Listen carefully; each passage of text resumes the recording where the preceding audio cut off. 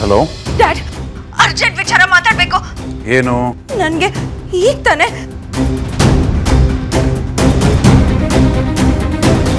ಅವ್ನು ಯಾರಂತ ನಿನ್ ನಿಜವಾಗ್ಲೂ ಗೊತ್ತಿಲ್ವಾ? ಪ್ರೀತಿ ಮದುವೆ ಆಗ್ತೀನಿ ಅಂತ ನಂಬಿಸಿ ಒಬ್ಬ ಅಮಾಯಕ ಹುಡುಗನಿಗೆ ಮೋಸ ಮಾಡೋದಕ್ಕೆ ಗೊತ್ತಾಗತ್ತೆ.